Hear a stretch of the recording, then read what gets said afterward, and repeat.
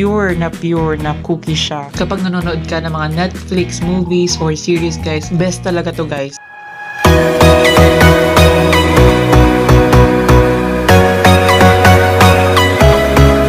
Hi guys! Welcome back to my channel. For today's video, ayan, may bago na naman tayong iti-taste test. So, this product is from G's Cookies and Cakes. So, ayan siya guys.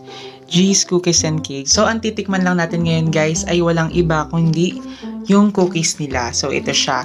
This is worth 180 pesos. Ayan, meron ka ng ilang piraso ba to?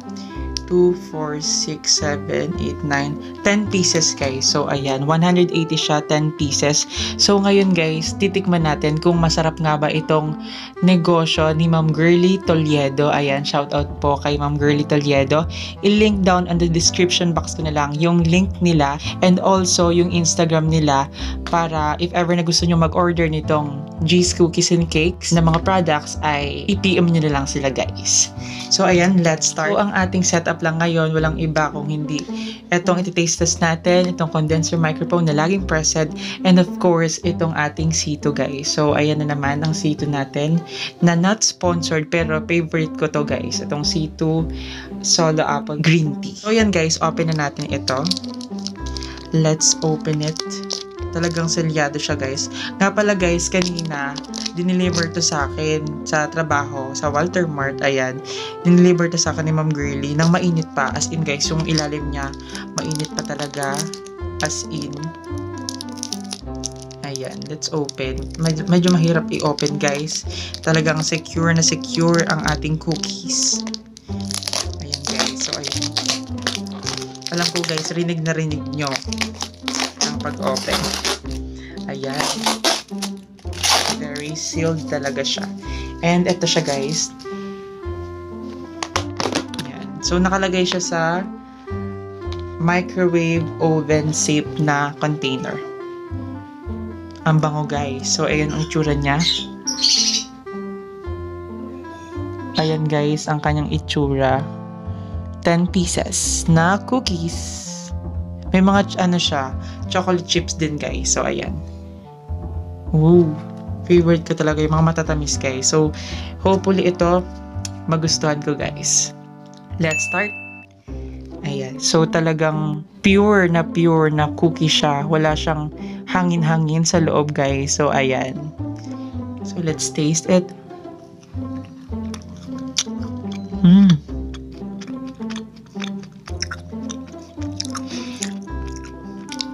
In fairness. Ang sarap guys ha. Medyo crunchy siya guys.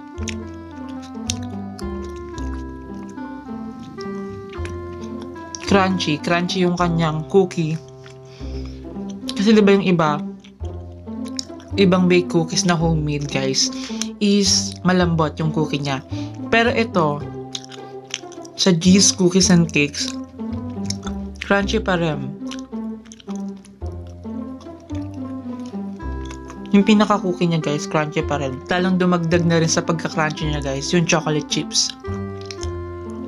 Ang sarap guys. Hmm. Ang guys oh. Hmm.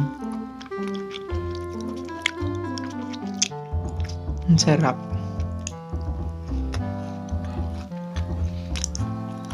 Yung chocolate niya guys, talagang feeling ko mamahalin yung chocolate.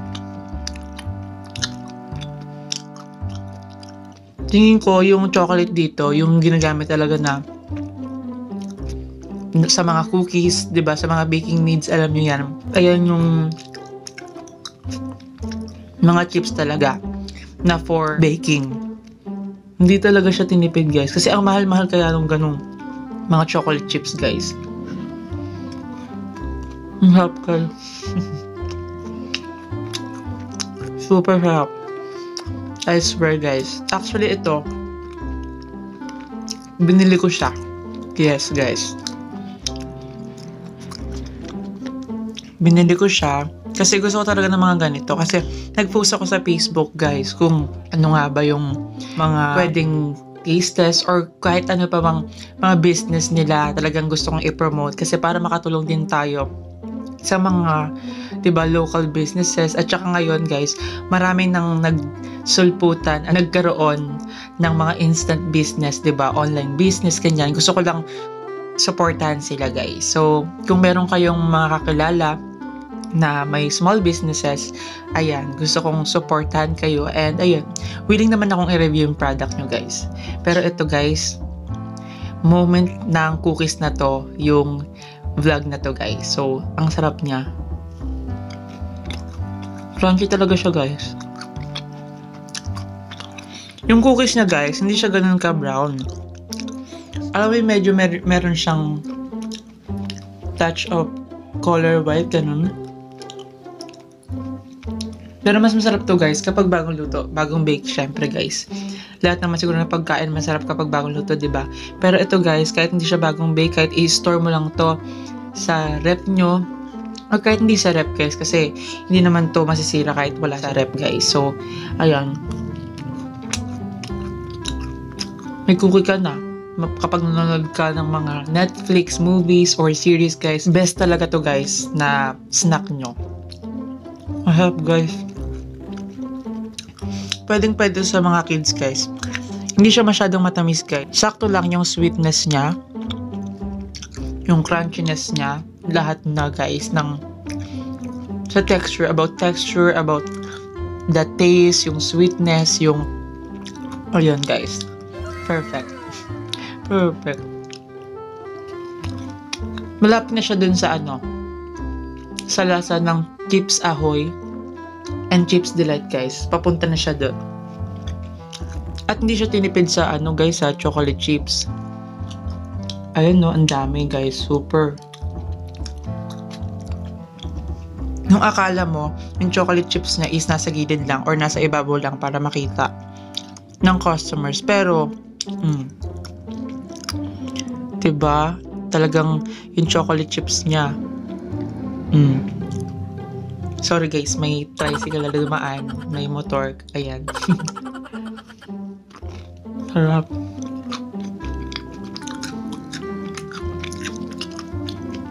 Ilan naman nakain ko? Pangalawa na ata to guys. Sarap guys. Alam nyo guys, kapag stress ako or kapag pagod ako, ang stress reliever ko na pagkain, yung comfort food ko, is chocolate talaga. So, itong cookies na to ni Ma'am Girly, talagang super nakaka-relieve siya ng pagod. Kasi guys, ayan na naman, kaka-out ko lang talaga sa work and tomorrow is my rest day. So, may time ako mag-film ng ganito. Kaya ayun, I deserve this moment. Kasi 'di ba, it's a very long week talaga. Kailangan mo talagang maglaan ng isang araw para makapag-relax ka naman, mag-enjoy, 'di ba? So ayan, ito yung way ko ng pag-enjoy ang kumain. Kasi hindi naman ako tumataba guys. So, 'di ba? Kumain na lang tayo ng kumain. Hmm. Ito yung likod na guys. Hmm. Ang sarap. Gusto, Gusto mo? Sure. Look, asa ka. Ang sarap guys.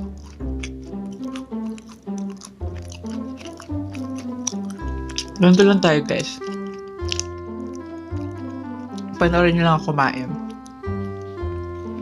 Pero kung gusto nyo umorder guys, again, nasa link down on the description box yung Facebook account ni Ma'am Girly at yung kanyang Instagram account if ever na gusto nyo matikman itong cookies nila. At meron din silang iba't ibang mga cakes na ilalagay ko na lang dyan sa screen guys. So ayan. Mamili kayo guys. Sobrang sarap. Pero ito muna yung kinuha ko guys. Syempre. Sarap talaga. Mmm. Ayan guys, oh. Sobrang ano niya. Pure na pure, walang hangin. Sulit na sulit. Kasi parang sa isang ganito, busog ka na. Kapag nagko-coffee break ka, yan, pwedeng pwede to bagay na bagay. ang mga nagko-coffee break dyan. I think pwede to sa milk, of course, di ba, sa gata. Partner niya talaga yun. And of course, sa coffee, pwede rin. Or chocolate drink. Pero ako, sito ako talaga. Forever. Forever. Ina muna tayo, guys.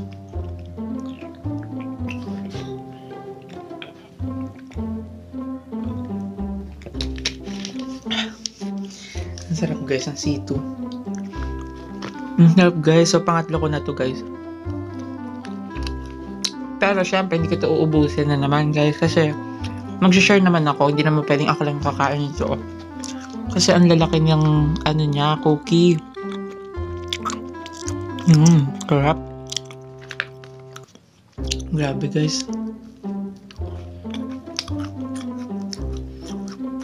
Mmm, sarap. Crunchy siya. Super.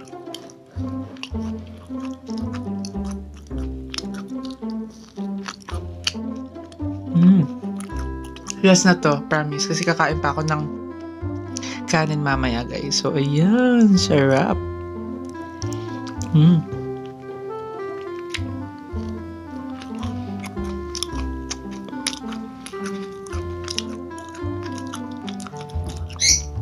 Pwede rin pala mag-ASMR, no, guys?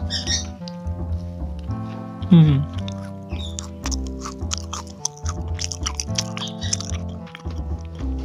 Di ba sa ASMR, ano lang siya, bibig yung kita, tapos yun, kain na ng kain. Tatry ko yun minsan, guys. Mm.